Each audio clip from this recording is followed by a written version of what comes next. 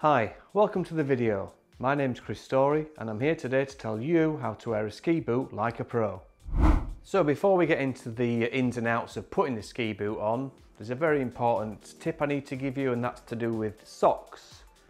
You only need to wear one pair of socks when you're wearing a ski boot. If you double up on your socks, what's likely to happen is you'll end up with blisters and you'll end up restricting the circulation into your toes and you will end up with very painful and or very numb and very cold feet. So do yourself a favour, buy a decent pair of ski socks and just wear one pair with your ski boots. So, ski boots. This is my Lange ski boot. Uh, I'm not sponsored by either Dynastar or Lange, but I have to say I do think these are the best ski boots and best skis you'll get on the market. I'll leave uh, some links to their um, gear in the description below. Um, one really important tip with your ski boot is please keep your ski boot warm. So when you're not wearing it, if you're in resorts for example, don't leave your ski boots outside. Okay, don't leave them in the cold car because you're going to have um, a lot of trouble getting your boot on when the ski boot is really cold the, um, the plastic shell just goes really, really hard. So keep them inside with you. You don't need to put them on a radiator. If you've got boot warmers, brilliant, stick them in the boot warmers. If not, just keep them inside, keep them warm. They'll be a lot easier to put on when you get up in the morning and you're ready to go out skiing. Okay, so first things first, we need to undo the boot. Okay, if you have a power strap like this on your boot, then let's get that undone. And then you want to undo each of your clips one by one. Sometimes these clips will want to reattach themselves, so just lift them off, move them down to the side, keep them out of the way completely. Once all your clips are undone, you're then going to want to just give the liner a quick pull forward. This creates a nice space for you to start to get your foot into the boot. Okay, so with your boot on the floor, it's now time to put your foot in there. So we're going to grab the liner again. We're still going to pull this forward you're going to tip your toes in and as you push your foot down into your boot, pull up and sideways on your liner and your foot should slide in nice and easily. The next thing you want to do is make sure your heel is as far back in the boot as you can go and you do this by giving your heel a couple of taps on the ground. With your heel now in place, give your toes a wiggle. You should be able to move your toes freely at the front of your boot. If you can't, your boots too tight for you.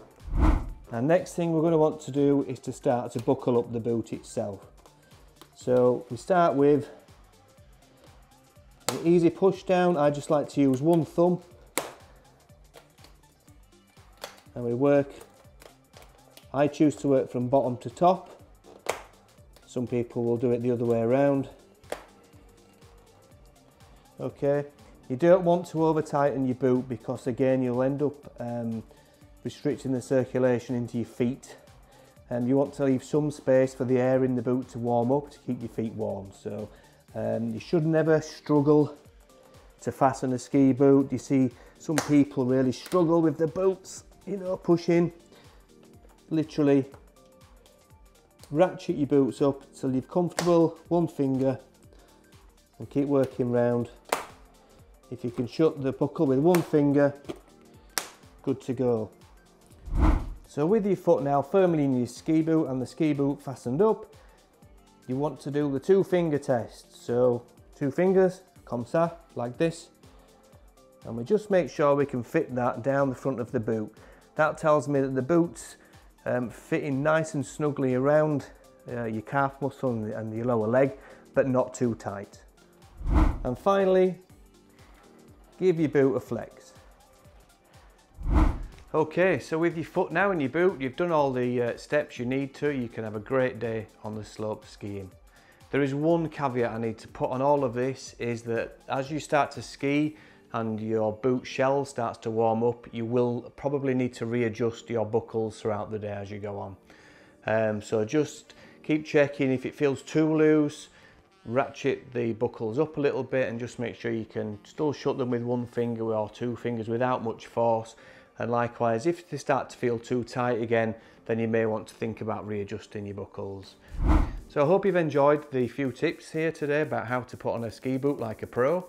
Please leave any comments uh, in the comments section, obviously, um, and like and subscribe to this, uh, this channel. There will be more videos coming out about buying ski boots and also buying skis as well with some good uh, tips to make sure you get the correct gear for your level um, of skiing ability. Okay, thanks for watching. It's been fun and see you next time. Bye bye.